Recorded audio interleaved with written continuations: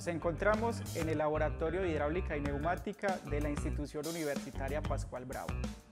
La práctica que vamos a realizar en esta oportunidad es el reconocimiento y la operación de los elementos que conforman el banco electroneumático.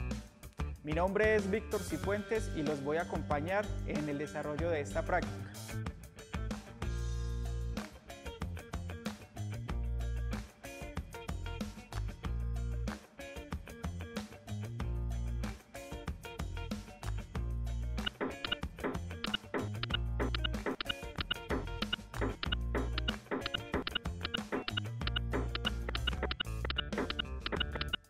Antes de dar inicio a cada práctica en el laboratorio, debe contar con los siguientes implementos. Gafas, bata para laboratorio, botas o zapatos cubiertos. El objetivo de la práctica es reconocer y explicar los elementos que conforman el banco para las prácticas electroneumáticas, con los cuales el usuario podrá elaborar la simulación requerida. Los elementos que se requieren para la práctica son fuente de aire comprimido, sistema de apertura para alimentación unidad FR, manómetro, fuente de alimentación 24 voltios DC, bloque de conexiones selenoides, relés y sensores, bloque de electroválvulas 5.2 monoestables, bloque de electroválvulas 5.2 biestable, cilindro de doble efecto, sensores magnéticos e inductivos, placa de ensamble para elementos externos como son relés, pulsadores, contadores y temporizadores, tuberías y racores.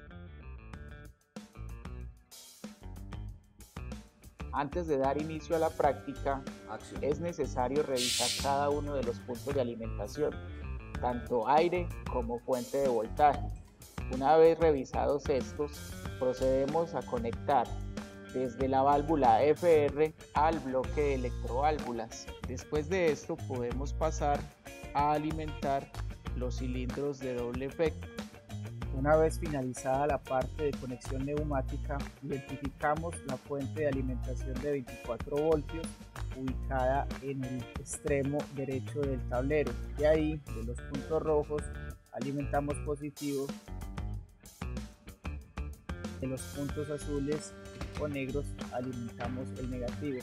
De esta misma forma lo realizamos para las cajas de relés y pulsadores.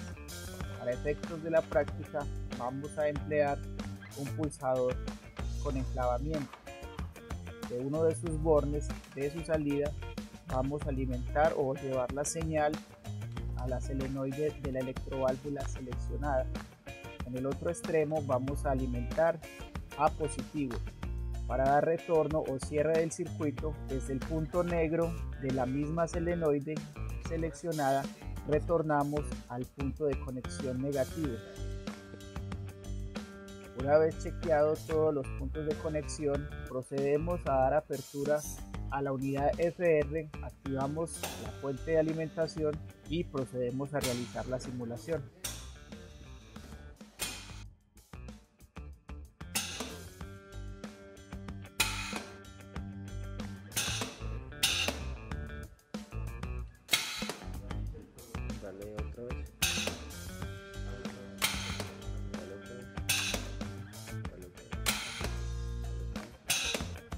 Es importante que los usuarios sigan las instrucciones dadas durante la práctica.